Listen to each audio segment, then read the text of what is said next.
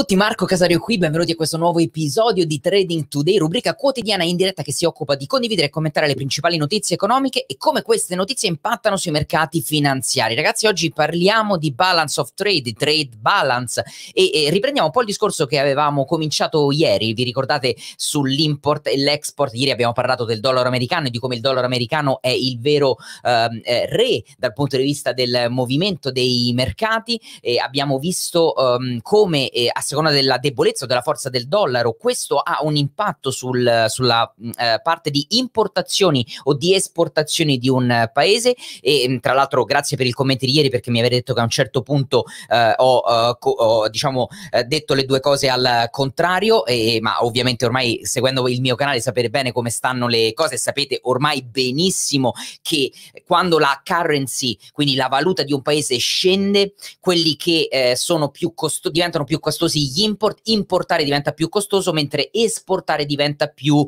eh, conveniente. Ok, tanto oggi ne andremo a riparlare perché oggi parleremo di eh, trade surplus e trade defic- deficit. E in particolare andremo un po' a vedere anche come questo impatta non solo sulla eh, forza, sulla debolezza di una valuta che sappiamo bene che poi si porta dietro, vi ricordate il, il, web, il webinar, il video qua in diretta in cui ho parlato di eh, intermarket analysis, bene l'intermarket analysis è molto importante partire dalla forza o dalla debolezza di una valuta rispetto alle altre, no? E quindi il balance of trade andrà ad impattare su questo parametro, ma impatterà anche sul prodotto interno lordo, perché oggi vedremo uno dei metodi di calcolo, probabilmente il metodo più utilizzato per il calcolo del prodotto interno lordo e vi farò vedere che il prodotto interno lordo sarà dato dalla, da una sommatoria e alla fine di questa sommatoria c'è proprio il balance of trade, che ve lo dico qua in diretta, altro non è che la differenza tra tutto quello che un paese esporta meno tutto quello che un paese importa. Questa è la differenza ehm, che eh, viene data dal viene misurata con il balance of trade.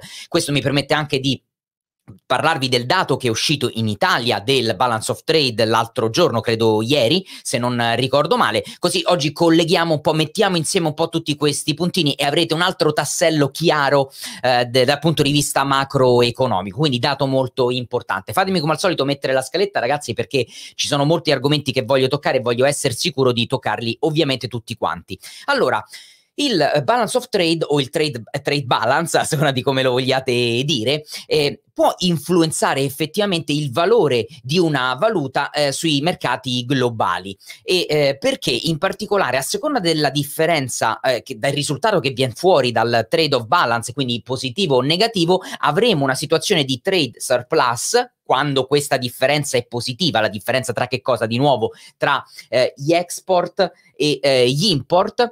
Eh, eh, Marco, puoi ripetere, non si sentiva nulla?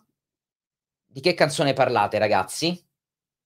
Uh, è la suoneria del telefono. Che mi ha squillato il telefono mentre ero in uh, diretta? Ditemi, datemi l'ok se adesso sentite, ragazzi, che così continuo ad andare avanti, ok? Una musica aberrante addirittura, mamma mia, che cosa è successo? A posto, non c'è più, grazie Fabio. Allora, dicevamo, quando la differenza tra i export ed import è positiva, abbiamo una situazione di trade surplus, quindi un eccesso. Un eccesso di cosa? Vuol dire che un paese eh, esporta più di quello che importa ok? Uh, il trade surplus, uh, se ci pensate è abbastanza logico, tende a rafforzare una valuta. Perché rafforza una valuta, ragazzi? Perché c'è eh, avere un uh, trade surplus, quindi avere una differenza tra export ed import che è in um, positivo, vuol dire che c'è un'alta domanda torniamo a domanda offerta, quindi c'è un'alta domanda per i beni di un paese a livello globale. Avere un'alta domanda di beni vuol dire automaticamente avere un'alta domanda de- di quella valuta, ok? Pensiamo al caso contrario, al caso in cui ci, ci viene fuori dalla um, differenza di questi due valori, export ed import, un valore negativo, vuol dire che uh, siamo in una situazione di trade deficit e eh, vuol dire che il paese compra più di quello che eh, esporta. Uh, e ehm, questo ha un impatto negativo tendenzialmente sulla valuta, quindi tende a indebolirla, ok? La valuta tende a scendere e questo fenomeno, riprendiamoci anche, rilacciamoci anche al video di ieri, quello che porta è ad avere import eh, più costosi, importare se la valuta è debole, ragazzi, importare costa di più, quindi fatemelo risottolineare bene proprio perché ieri eh, eh, evidentemente nella diretta a un certo punto della diretta mi sono confuso, ma eh, ormai ripeto, siete grandi, seguite le dirette e lo sapete, una valuta debole vuol dire esportazioni più convenienti, vuol dire che l'estero um, ha più interesse a acquistare beni e, servizi da quella nazione o ad investire in quella nazione questo anche porta a eh, avere una valuta debole. Gli import invece sono più eh, costosi. Facciamo un esempio pratico perché come al solito mi piace eh, farvi degli esempi pratici. Immaginate, prendiamo come esempio gli Stati Uniti, eh, visto che stiamo parlando di dollaro, ieri abbiamo parlato di dollaro, Stati Uniti che devono importare una materia prima da una nazione, potrebbe essere mh, mm, lo zucchero dal Brasile, ok? Così sapete che anche il Brasile è uno dei maggiori esportatori di zucchero. Allora, succede a un certo punto del, de, de un periodo dell'anno che magari gli Stati Uniti devono importare zucchero dal Brasile più di quello che esportano, quindi gli import eh, saranno maggiori rispetto agli, agli, agli export per questo paese. Quindi che cosa significa dal punto di vista pratico, ragazzi? Significa che devono eh, comprare più real brasiliano rispetto agli Stati Uniti, rispetto al, alla necessità, alla domanda del ehm, eh, Brasile eh, de, rispetto al um, dollaro americano. Quindi che cosa succede? Che eh, questo sbilanciamento, cioè avere una domanda di real da parte degli Stati Uniti rispetto ai dollari da parte del Brasile, crea un rafforzamento del real brasiliano e un indebolimento del eh, dollaro americano. Quindi che cosa ci, ci, possiamo aspettare dal punto di vista dei grafici? Per, proprio perché voglio essere estremamente, fatemi un secondo togliere la mia scaletta.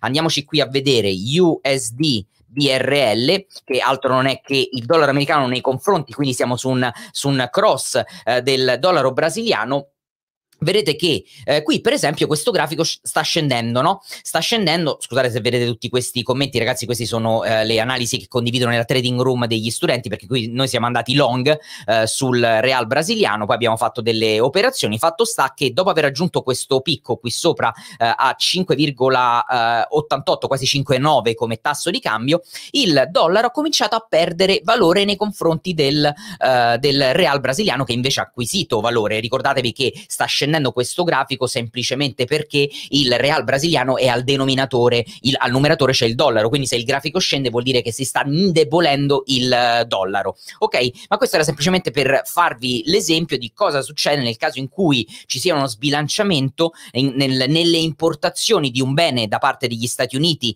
in, um, dal Brasile in real, pagato in real, rispetto a, um, alla domanda che, um, alla richiesta, scusate, del Brasile di prodotti eh, americani pagati in dollari americani. Ok, era solo per farvi questo esempio. Bene, torniamo un attimo al, a, al nostro discorso. Quindi abbiamo già capito che cos'è il trade, e fatemi rimettere la scaletta perché non voglio dimenticarmi nessun punto. Avete già capito cos'è il uh, trade um, balance, avete capito cos'è il trade surplus, avete capito cos'è il trade deficit, deficit e eh, avete a questo punto eh, eh, avete necessariamente capito anche come impattano su una valuta e gli import, gli export come sono danneggiati o agevolati o beneficiano dalla eh, forza o dalla eh, debolezza. Ricordatevi anche ragazzi che le esportazioni di un paese ehm, dipendono e ovviamente crescono col diminuire del valore della currency, l'abbiamo detto prima, no? Um, e, e vi posso portare un altro esempio con le, l'Europa. Immaginate che eh, l'euro, se l'euro scende, gli Stati Uniti America avranno più volontà a comprare beni eh, in, in, euro perché sono ovviamente meno costosi e, e, questo necessariamente avrà un impatto poi sul eh, balance of trade. Anche l'inflazione impatta sul balance of trade. In che modo? Un'alta inflazione ovviamente eh, che cosa fa l'alta inflazione? Aumenta i costi. Da, che, che, costi aumenta se ci pensate? Per un'azienda potrebbe impattare sui costi dei materiali, producer price index, ve lo ricordate, e sui costi del lavoro. La manodopera costa di più, i lavoratori costano di più ad un'azienda e questo impatta ovviamente negativamente sui, sugli export. Quindi anche l'inflazione ha un impatto sul balance of trade. Il balance of trade non è importante solo per ehm, capire eh, la forza e la debolezza di una valuta, ma anche per il calcolo del prodotto interno lordo, ragazzi. Il gross domestic product o in italiano il prodotto interno lordo è dato da che cosa? Eh, è dato dalla sommatoria, badate bene, eh, adesso vi dico i valori, poi li andiamo a, um, um, li andiamo a, a a spiegare, ma non credo ci sia bisogno. Allora, prodotto interno lordo utilizzando il metodo della spesa, che è uno dei metodi più utilizzati per il calcolo del prodotto interno lordo, ragazzi, perché c- ci sono più metodi, metodi, ok? Vi voglio far vedere solo quello più uh, utilizzato, eh, proprio perché implementa anche il, il balance of trade. E, è dato da che cosa? Dalla sommatoria del dei consumi, consumer spending in inglese, ehm, poi il, gli investimenti privati, quindi eh, consumi più investimenti privati più ehm, la spesa pubblica eh, più, tra parentesi, ba- il, la, la, differenza tra export ed import. Cos'è la differenza tra export ed import? L'abbiamo detto prima, è il balance of sheet.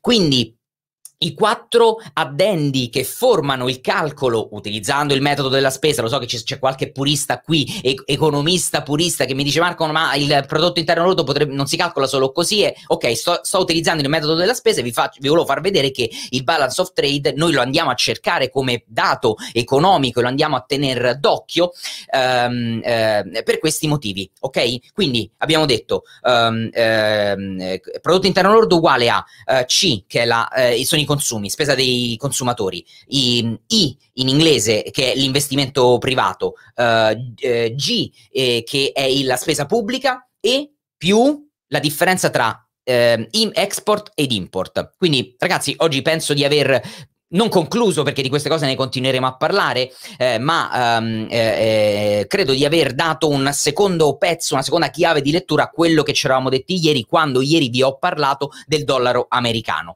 A questo punto oggi, um, oggi potremmo, um, potremmo, scusate, leggo le vostre, le vostre eh, chat mi viene sempre da, uh, da ridere e eh, andiamo un secondo a, a, vedere a questo punto, passiamo sui, sui grafici perché oggi ragazzi è una giornata importante dopo quel, soprattutto quella di ieri, perché ieri che cosa è successo? I mercati hanno, for- hanno mh, diciamo, un po' invertito la tendenza della settimana scorsa, no? Settimana scorsa grande... Ehm, tra virgolette, paura per quello che ha detto la Federal Reserve, paura sulle materie prime per il grande sell-off che c'è stato da parte della Cina che ha voluto un po' raffreddare i, eh, eh, i, l'inflazione, quindi il grande sell-off che c'è stato sul rame, ma non solo sul rame, petrolio che invece se n'è completamente fregato di tutto quanto è continuato a eh, salire, un, petro- un, energetico che sale ragazzi comunque lo sapete che in, in un modo o in un altro andrà ad impattare sui prezzi, prezzi di trasporti, eh, trasporti di, di, di beni, eh, trasporti dal punto di vista di spostamenti che facciamo con la macchina, quindi la benzina, con, il, con gli aerei, eccetera. E, e, e, ma soprattutto ieri, adesso ve lo faccio vedere con i tre punti più importanti secondo me per la giornata che andremo a vedere la giornata di, di oggi sui grafici, um, il, il, settore energetico ieri ha fatto un grande balzo in, in avanti, ma lo, fatto anche, eh, lo hanno fatto anche le small cap negli Stati Uniti con il Russell 2000. Quindi questi sono i tre concetti di cui andremo a parlare oggi, vi li metto qua in, uh, in sovraimpressione, diciamo così.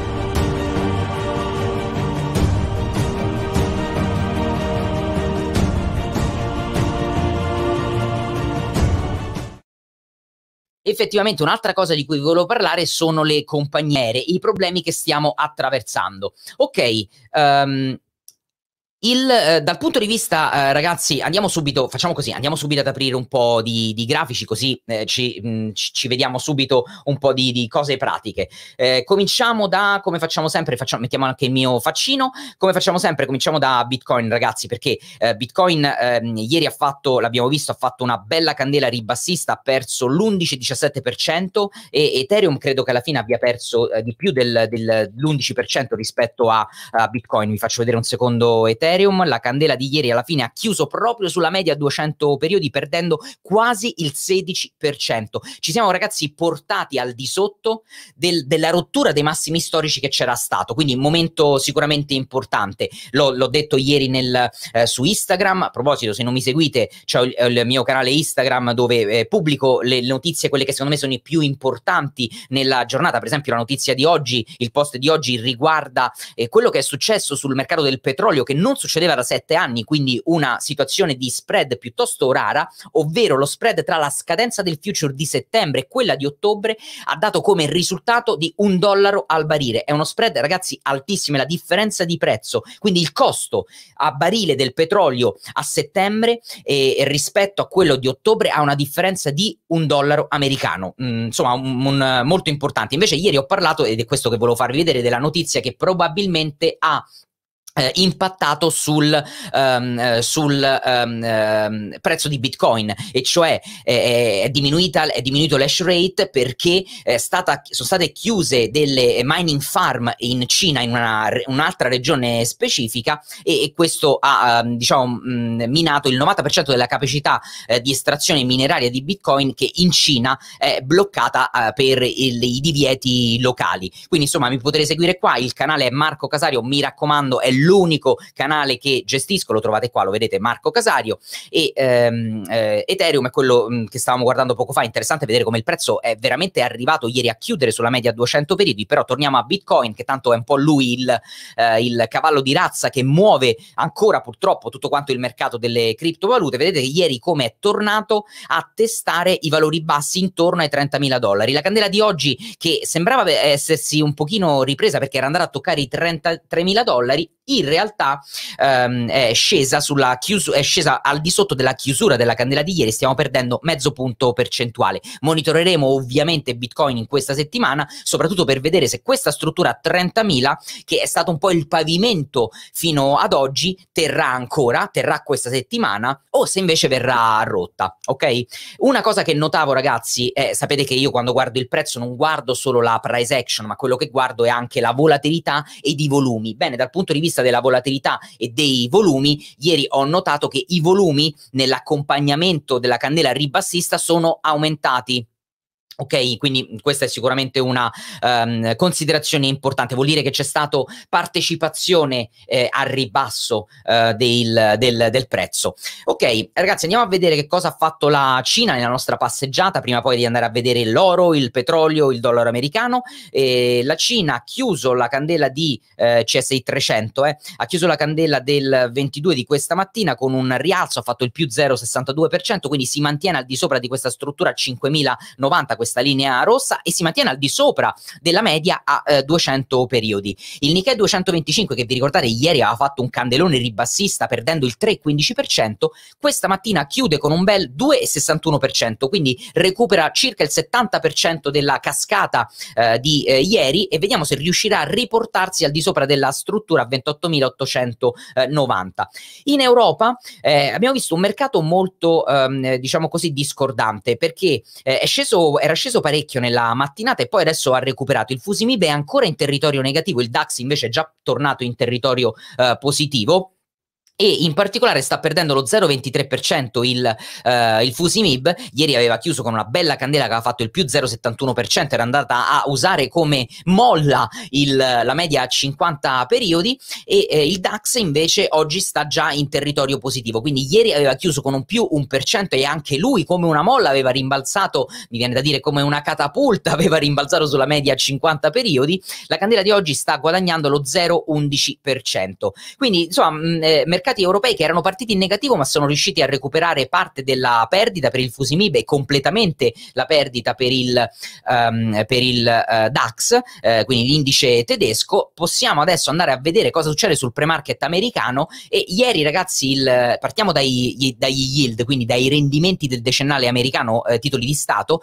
perché ieri abbiamo visto una candela che è andata a recuperare eh, le due candele ribassiste di giovedì e di venerdì, quindi è andata a toccare gli 1,35, pensate come valore davvero davvero basso, siamo tornati praticamente ai valori di febbraio del 2021, ma poi ha rimbalzato ed è, si è riportata di nuovo a ridosso dell'1,5%. La candela di oggi sta facendo più, il più 0,23%, quindi comunque in positivo, ma rimaniamo un pizzico sotto all'1,5%, siamo a 1,498, quindi Molto interessante sarà vedere cosa accadrà, ma quello che possiamo dire è che per ora sembra essere interrotto il ribasso dei, uh, dei rendimenti. Andiamo a vedere cosa hanno fatto, cosa ha fatto la volatilità, perché la volatilità del VXN, quindi la volatilità del Nasdaq, e, la volatilità del Nasdaq ieri è scesa del 7,36% e dai valori alti che aveva toccato a 23,68 ehm, sta, stiamo comunque ancora in territorio per me di, chiamiamolo serenità, perché per me il territorio un pochino più eh, difficoltoso è dai livelli 25, dai 25 punti in su. Eh, ieri comunque ha chiuso la giornata a 20,78, quindi siamo tornati ai livelli bassi, ragazzi, ai livelli del 15 giugno, quindi di inizio settimana scorsa. Il VIX Uh, ieri è sceso di più, eh, ha perso il 13,57% e si è riportato abbondantemente sotto i 20, perché lì aveva superato i 20 il VIX con la candela di, eh, del 18 giugno e poi con la candela ancora di, quindi di venerdì e la candela ancora di eh, ieri, e si era riportato a chiudere a 17,50, ah no, scusate, a 17,90. La candela di oggi invece sta scendendo ancora del 2%, e um, ha perso, uh, è, si è portato a scusare sui 17,50, 17 punti e 50. Quindi direi, e, e, questa è l'analisi che dobbiamo fare, volatilità che è tornata a livelli bassi, perché siamo a livelli bassi di volatilità. Ok? Cosa sta succedendo quindi sui mercati? Cosa è successo ieri e cosa sta, sta succedendo in pre-market? Um, allora, um, vedete che Eccoci qui, nel, nel, nella, nella, giornata di ieri eh, il, l'S&P 500 ha chiuso con un bellissimo più 1,45%, quindi grande rimbalzo sulla struttura 4120, questa linea celeste che vi avevo segnalato, il prezzo è tornato vicino ai massimi storici, considerate che siamo appena all'1% uh, dei massimi storici, quindi gli basta fare l'1% all'S&P 500 per superare i suoi massimi storici. La candela di oggi già, già sta facendo uno 0,11%, il Nasdaq ieri ha, ha chiuso con una candela un pochino più, eh, diciamo, sofferente di quella del, dell'S&P 500, comunque è stata una candela positiva, ha chiuso con, quasi con il 0,70% e la candela di oggi sta facendo lo 0,26 e siamo a un passo dai massimi storici. Ragazzi, oggi il Nasdaq, se i mercati continueranno a salire, oggi il Nasdaq potrà fare eh, i, i nuovi massimi storici. Quindi vi vorrei dire, vedete come Ragazzi, la, um, la grande, mh, il grande movimento, l'innalzamento di volatilità che c'era stato a valle della riunione della, del FOMC, della Federal Reserve, che ha ammesso per sua stessa ammissione che il, l'inflazione eh, l'aveva un po' sottostimata e che ehm, aveva alzato le previsioni sull'inflazione del, dell'1% rispetto ai valori precedenti e che l'inflazione sarà più eh, sticky, ha usato la parola sticky, cioè sarà più appiccicata alle all'economia di quello che ci si aspettava, quindi durerà di più questa inflazione un pochino alta, però sarà transitoria e, questa uh, ammissione aveva ovviamente cominciato a far storcere un po' il naso agli investitori. Settimana scorsa quindi abbiamo visto questi grandi sbilanciamenti, questi grandi movimenti dovuti soprattutto ragazzi a come la Federal Reserve con le sue parole è intervenuta sulla uh, short duration della curva dei rendimenti. Infatti vi ricordate che avevamo visto come, eh, ve lo faccio vedere qui, uh, il US eh, 05, quindi 5 anni, i rendimenti a 5 anni erano schizzati per aria, guardate qua, vedete, erano volati in alto. E vi faccio notare come nessuna candela successiva al 16 eh, giugno, quindi alla dichiarazione alla FOMC del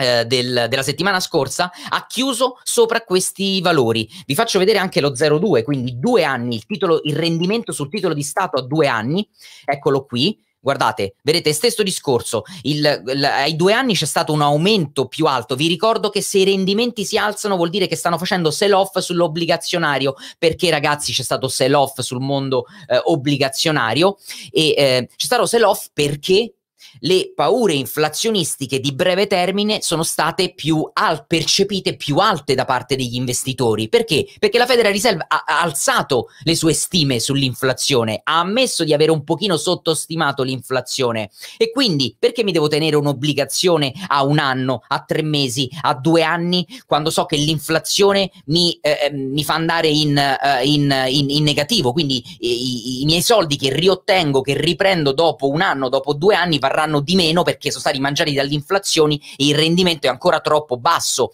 per rendere interessante perché il rendimento sui due anni ragazzi sta allo 0,2% se l'inflazione year over year sta al 5% capite bene che io non mi sto proteggendo dall'inflazione con i, l'obbligazionario, quindi io investitore i miei soldi li vado a mettere da un'altra parte, ovviamente.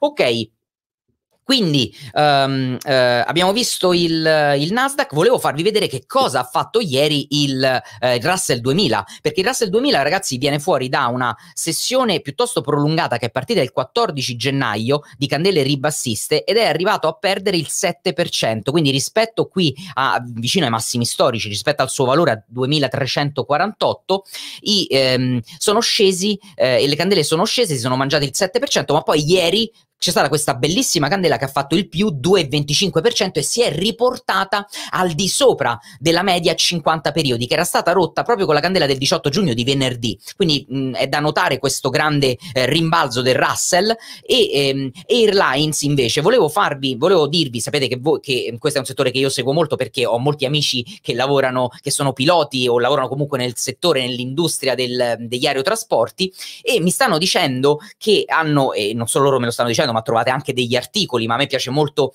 misurare quella che è la street economy, cioè quelle che sono le informazioni che vengono dagli addetti ai lavori di quel settore, che c'è un grande problema e le aziende stanno, soprattutto negli Stati Uniti, a dire la verità, ma non solo, perché io sono partito recentemente, vi ricordate, sono andato in vacanza qualche tempo fa, settimana scorsa, due settimane fa, e anche il mio volo è stato spostato da Qatar per tre volte. Quindi che cosa stanno facendo le aziende, le compagnie aeree? Stanno cercando di vendere il più possibile, poi accorgono Córpano i, um, i, viaggiatori su un aereo cercando di riempire il più possibile quell'aereo perché magari i tre voli che hanno a settimana non vengono riempiti e quindi su tre voli poi cercano di migrare tutti quanti sul, su un unico volo che è più pieno. Hanno questi problemi ma hanno anche problemi di, eh, di staff eh, perché ci sono stati i licenziamenti, perché c'è stata la disoccupazione, eh, perché ci sono state le aspettative e, e, quindi questo sta creando un problema e, e per esempio ho sentito che American Airlines negli Stati Uniti Uniti, anche Delta sta cancellando tantissimi voli, creando quindi parecchi problemi a chi sta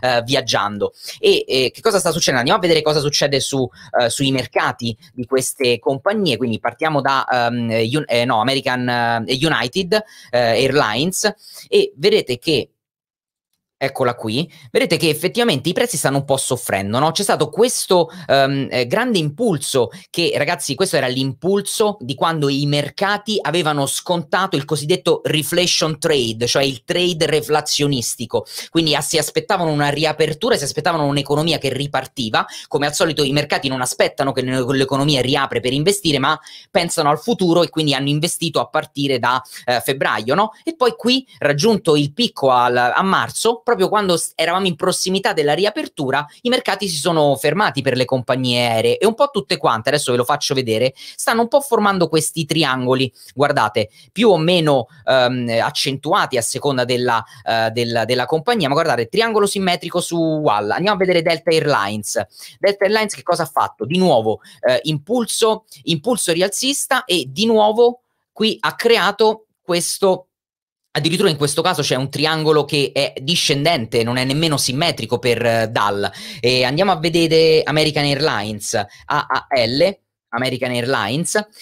Quindi anche in questo caso impulso rialzista e qui che cosa abbiamo? Abbiamo un bellissimo doppio massimo, guardate qui che doppio massimo con il prezzo che sente questi valori, tra l'altro non c'è solo il doppio massimo ma c'è anche una ehm, divergenza dell'RSI su questo, eh, su questo doppio massimo e vedete che il prezzo sta eh, scendendo, quindi sarà molto interessante vedere che cosa eh, succederà. Allora, bene, ehm, direi a questo... Ah, non abbiamo finito ragazzi, dobbiamo finire la nostra passeggiata andando a guardare dollaro americano che oggi, dopo la, la discesa di ieri, ieri vi ricordo che, aspettate, fatemi fare un po' di zoom così lo vedete meglio, eh, ieri il dollaro americano dopo questa ha interrotto grande, eh, eh, il grande impulso rialzista che aveva avuto, ha perso lo 0,37%, oggi eh, su questa struttura qui a 11.900 sta sentendo un pochino i, ehm, eh, le, le, le, diciamo così, eh, i buyer che sono andati in controllo controllo a partire dall'11 giugno e eh, oggi sta facendo il più 0,16%. Specularmente sta facendo il contrario euro-dollaro, che dopo questa grande discesa era riuscito a risalire, ma oggi sta ancora eh, scendendo un pochino, sta perdendo lo 0,19%. Cosa fa l'oro? L'oro oggi è fermo, è fermo nonostante ieri aveva chiuso una bellissima candela con lo 0,79% e oggi era salito, era riuscito a tornare intorno ai 1790, quindi si avvicinava ai 1800, ma poi si è fermato. Il petrolio, ragazzi, altro protagonista della giornata di ieri, guardate che candela, la candela di ieri va a rompere i massimi di questo impulso rialzista che c'era stato, che nemmeno era arrivato, nemmeno di ritracciamento si può parlare queste candele qui di discesa, perché guardate, ve lo faccio vedere non, è, non, sono arrivate nemmeno sul livello 38,2 che stava sotto i 70 dollari. Sono scesi solo con gli spike sotto i 70 dollari, ma poi c'è stato subito il recupero e di nuovo ieri eh, grande ehm, candela verde, candelone verde da 2,57% per il petrolio. Oggi, per ora, i mercati americani sono ancora chiusi. Oggi ehm, sta scendendo del, del, dello 0,74%, sta a 72,58. Vi ricordo che la candela di ieri era riuscita a chiudere a 73,12. Il rame eh, oggi sta facendo quasi mezzo punto percentuale, sta guadagnando e anche lui sembra aver interrotto questa, ehm, questo ritracciamento. No? Vedete qui queste gambe ribassiste, prima gamba, ritracciamento, seconda gamba più profonda e qui ragazzi complice chi? La Cina di nuovo, la Cina non solo su Bitcoin, ma anche sul mercato delle eh, criptovalute, eh, scusate, del, delle materie prime, perché lo ha dichiarato poi eh, pubblicamente, è, è stata, ha fatto un sell-off, ha venduto materie prime perché voleva abbassare i prezzi e sapete che il rame, eh, la Cina è una delle maggiori importatrici di rame ed utilizzatrice perché il rame è utilizzato tantissimo nell'industria e nelle costruzioni e, e quindi per eh, allentare un po' l'inflazione ha pensato bene di far scendere i prezzi delle materie prime. C'è riuscita con quasi tutto, eh, tranne che con il eh, petrolio. Ok ragazzi, ehm, eh, di, di, volevo farvi eh, vedere perché ne avevo parlato prima eh, anche XLE, quindi andiamo a vedere l'ETF degli energetici perché l'ETF degli energetici ieri ha fatto un bellissimo rimbalzo, guardate qua, più 3,21%, siamo su XLE e sono andati, è andato a rimbalzare sul, sulla media 50 periodi. Non fate caso a questi appunti, ragazzi, questi sono, eh, sono i trade che condivido eh, sulla trading room eh, dei, degli studenti. Ok, la nostra visione era, la mia visione era rialzista durante questa, ehm, questo ribasso e qui ho aperto una uh, bella bull put anche perché c'era una volatilità che si era un po' alzata e, e che sta andando in, uh, in grande profitto per ora. Ok, allora vediamo un po' se c'è qualche domanda, ragazzi. Um, c'è Mirko che mi dice: Marco, ti odio quando non rispondi alle mie domande. E Mirko, l'ho persa la tua domanda, mi dispiace, ce ne sono vera- veramente tante. È difficile riuscire a rispondere a tutti, soprattutto quando parlo, ragazzi. Quando parlo sono molto concentrato sullo schermo. Sì, è vero, ogni tanto mi vedete con l'occhio buttarlo a, uh, qui alla mia destra, perché la chat ce l'ho qui sulla destra, ma è davvero difficile riuscire a capire uh, le uh, domande. Elisabetta dice: l'euro dipende completamente direttamente dal, dal dollaro? Uh, no, ni, nel senso che che cosa intendi per euro? Intendi l'indice? Intendi euro-dollaro, il, il cambio? Dimmi bene che cosa intendi eh, de, per euro-dollaro. Allora, ehm, allora, allora, allora. Eh, sì, Alessandro ricorda i like, grazie ragazzi, grazie Alessandro per ricordarmelo, io me lo dimentico sempre. Ragazzi, se questi contenuti vi sono utili, questo è il momento di dimostrarmelo mettendo like sul non vi costa niente dovete prendere il cursore del mouse andare un pochino più in basso lì trovate il bel like su eh, se siete su Facebook a guardare la diretta o se siete su eh, YouTube cliccate like perché non, non, date solo a me un eh, aiuto a capire che questi contenuti sono di vostro gradimento e li ritenete eh, di, di qualità e utili ma soprattutto aiutate YouTube e l'algoritmo di YouTube a dare più visibilità a questi contenuti. Allora eh, c'è Riccardo che mi chiede GBP Yen andiamo un po' a vedere GBP Yen e quindi uh, GBP Yen Andiamo a vedere che cosa um, sta facendo. Eccolo qui. Aspettate che to- faccio un po' di zoom out. Allora, ti direi che continua la fase, la, la forte fase ribassista, quindi c'è grande forza del, eh, del pound nei confronti dello, dello, yen. Vedete, qui si era fermato un attimo dopo questa salita parabolica. Qui c'è stato un momento di eh, lateralizzazione del prezzo che però subito ha rotto con la candela del 10 maggio. Poi il prezzo ha creato un nuovo massimo, quindi ha rotto i massimi eh, di questa eh, parabola qui che vediamo e ha ritracciato sulla media 50 periodi, la candela di ieri ha fatto un più 1% e si è riportata al di sopra della media. Quindi ehm, continua a mostrare estrema forza il pound nei confronti dello, dello yen. Ehm, per quanto mi riguarda non ci sono segnali di ingresso, però Riccardo immagino che tu me l'hai chiesto perché eh, le, le, le, tue considerazioni già le hai fatte. Quindi grande ehm, forza dello yen, del, scusate, del pound nei confronti dello yen. Del resto guarda qui la distanza tra la media a 200 periodi e la media a 50. Questo è proprio, ehm, è proprio denuncia la forza eh, del, della price action in questo momento ok? E eh, c'è eh, Frunzo che mi chiede eh, analisi su euro-yen. Allora, rimaniamo sempre quindi sullo, sullo, yen, ma questa, cosa, questa volta lo analizziamo nei confronti del, dell'euro e vediamo che lo yen effettivamente sembra proprio essere debole perché sta perdendo nei confronti del del, del, del, pound, ma sta perdendo anche nei confronti del, dell'euro. E vedete che qui abbiamo una bellissima cavalcata. Guardate, ragazzi, qui c'è stato un questo test spalle che io avevo segnalato nella trading room degli studenti. C'è stata la rottura sulla neckline, eccola qui, e il prezzo, vedete che c'era tornato, aveva rimbalzato sulla neckline. Guardate che bello quando il prezzo rompe, sono le strutture che mi piacciono di più, eh, le price action che mi piacciono di più, cioè il prezzo rompe il test spalla, torna sulla neckline e esplode al rialzo. Questo era un bellissimo profitto su questo testa e spalle e anche qui siamo semplicemente in una fase di c'è stata una fase di ritracciamento. Guarda, te la vado anche a misurare per farti capire eh, di che parliamo e dallo swing low allo swing high ti faccio vedere che il prezzo è andato proprio fase di ritracciamento perfetta, è andato proprio a toccare il livello 61,8 e con la candela di ieri sembra per ora aver reagito e anche in questo caso ti faccio notare la distanza tra la media a 50 periodi e la media a 200 periodi, quindi anche qui grande forza del prezzo nonostante le due forti candele ribassiste del 16 e 17 giugno, ok? Allora, um, um, Carlo dice: Più dite di mettere i like, più non li metto, li metto se voglio. Eh, Carlo, assolutamente, devi fare quello che, che vuoi. Eh, visto che stai qui spesso, ti vedo spesso nella diretta, evidentemente i contenuti eh, che li trovi di qualità, altrimenti immagino che qui il tempo non lo perderesti. Eh, quindi io lo apprezzo molto, lo apprezzerei, apprezzerei, molto se mettessi effettivamente i like, visto che stai qua tutti i giorni. Lui, come tanti altri, eh. Eh, ripeto, per me è un po' una linea guida il like, ragazzi. Allora, um, eh, BTC sta testando i 30.000 dollari, sì l'abbiamo parlato prima di BTC quindi non ci torno, però Gianmaria grazie per, per aver avvisato, eh, in realtà stiamo proprio adesso, sì è vero c'è stata un'accelerata al ribasso, eh, la candela mentre parlavamo sta a 30.500, sarà molto interessante vedere se effettivamente riuscirà a tenerli.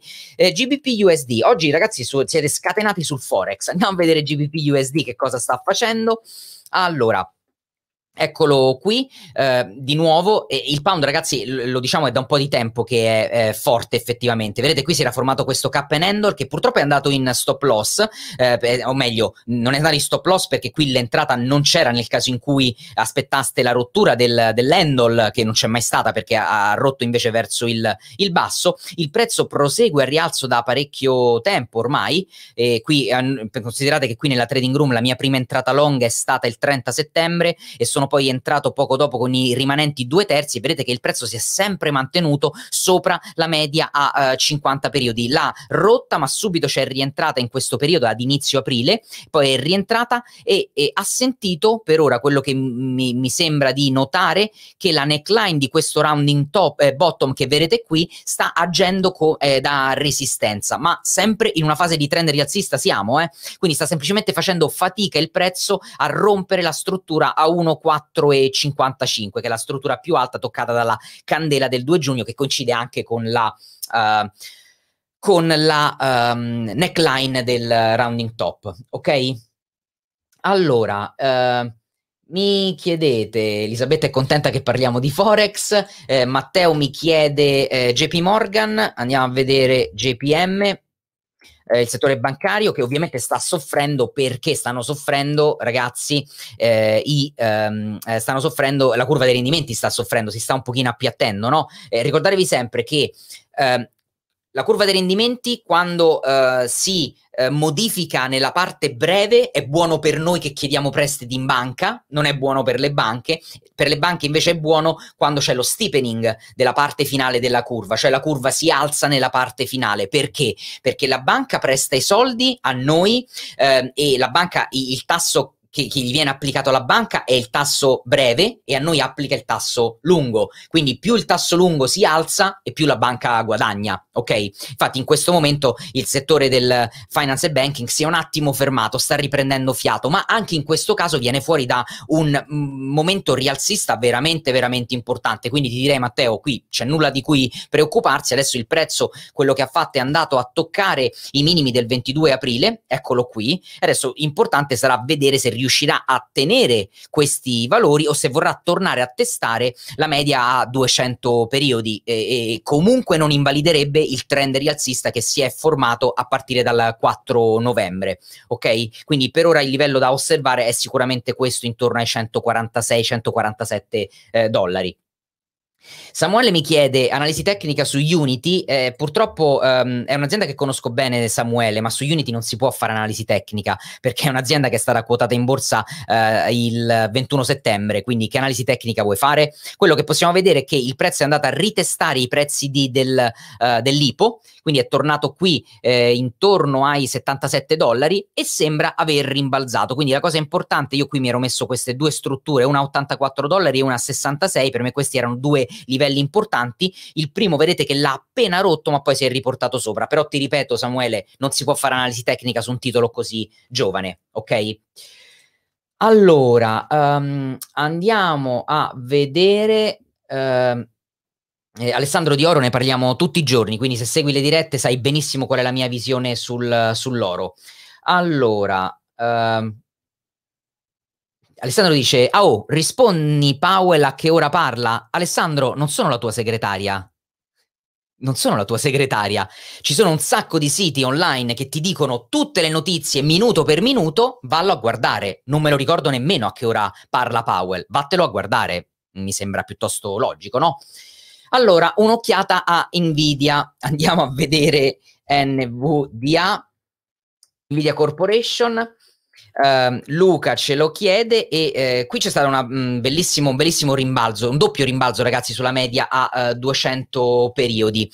200 periodi, vedete, primo rimbalzo qui il 9 marzo, secondo rimbalzo il 14 marzo e il, um, c'è stato un grande periodo di lateralizzazione. Vedete qui si era formato questo triangolo ascendente che era stato rotto, c'era stato un falso breakout il 12 febbraio, il prezzo era sceso in maniera anche veloce, ma poi il primo rimbalzo, il secondo rimbalzo, il terzo rimbalzo sulla media media a 200 periodi e poi boom, l'esplosione col grande impulso rialzista che ha portato ai nuovi massimi a 739. Ragazzi, incredibile quello che sta facendo Nvidia Corporation e, e di questo sono estremamente contento perché è un'azienda che ho nel portafoglio da veramente tanto tanto tempo che credo sia una delle best performer nel mio portafoglio Nvidia. Credo che mi abbia fatto qualcosa come il 400%, veramente, veramente incredibile. Eh, c'è Joseph che mi chiede analisi tecnica su Twitter, quindi insomma Luca per dire siamo in un momento estremamente rialzista, ti direi di fare attenzione ad una cosa, che qui c'è stato un grande impulso rialzista quando i prezzi fanno questi, eh, queste variazioni praticamente verticali, ehm, verticali beh, ehm, bisogna stare attento perché ci possono essere dei ritracciamenti, no? I mercati non vanno sempre solo verso l'alto, quindi non so quando sei entrato, non so perché sei entrato, ma se fossi entrato prima, eh, magari ecco anche qui sul segnale della rottura di questo triangolo ehm, eh, ascendente, eh, allora sei entrato a buoni prezzi perché sei entrato intorno ai 591-592 dollari e mh, mm, rimane in atto sicuramente il um, eh, momento rialzista per Nvidia. Mi chiedeva um, Joseph Twitter, TWTR. Andiamola a vedere che effettivamente non la guardo da un po' Twitter. Allora, um, eccola qui. Bene, eh, anche Twitter ci ha mostrato come è riuscita a rimbalzare prima sulla media a 50 periodi e poi sulla media qui a 200. Eh, sta mm, molto sotto, non molto no, però adesso lo andiamo a misurare. Sta, ha perso il 25% quasi rispetto ai picchi del 25 febbraio, ma del resto ragazzi Twitter è un eh, estremamente volatile come sottostante, quindi non state su questo sottostante se non amate la volatilità, quindi state assolutamente attenti. Vedete qui si era formato formato questo triangolo simmetrico che è stato rotto con un forte gap dopo gli earnings che erano avvenuti, eccoli qua, ehm, eh, che non erano piaciuti nonostante ci fosse stata una sorpresa rialzista del 12% eh, rispetto alle aspettative.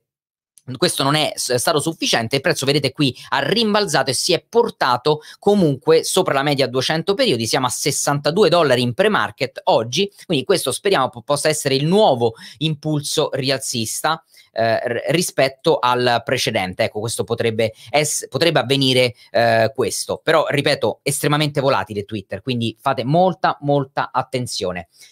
Allora, uh, ragazzi, facciamo, um, facciamo l'ultima e, e, Dado chiede eh, ti, dov'era? No, avevo, volevo far vedere eh, RVP, che è un'azienda che non seguo, quindi eh, volentieri la vado a guardare.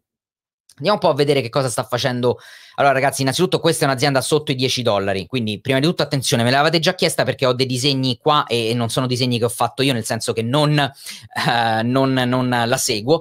Quello che noto è questa grande, vedete, questi grandi strappi rialzisti seguiti da grandi strappi ribassisti e che a me non è che facciano proprio piacere. È un grafico che non mi piace, estremamente volatile ed è un grafico che ragazzi, guardate qui, dopo aver toccato i 22 dollari, praticamente ha perso il 50% del suo valore si è portato sotto i 10. Il muro dei 10 sembra aver tenuto quindi questa struttura qui, guardate, che è stata usata anche in passato come resistenza e come supporto, di nuovo è stata usata come supporto a maggio, il, ehm, il, eh, il prezzo infatti ha, vedete, ha rimbalzato e fate attenzione, fai molta attenzione Dado perché questa è un'azienda uh, estremamente volati- volatile dai grandi movimenti e con il prezzo, con la market cap così piccola perché è un'azienda che sta sui 10 dollari, 11 dollari oggi, beh fargli fare movimenti grandi, eh, i grandi squali possono, possono, farlo. Quindi sempre molta, molta attenzione. Quando abbassate la market cap, ragazzi, dovete stare molto attenti ed essere molto preparati dal punto di vista del risk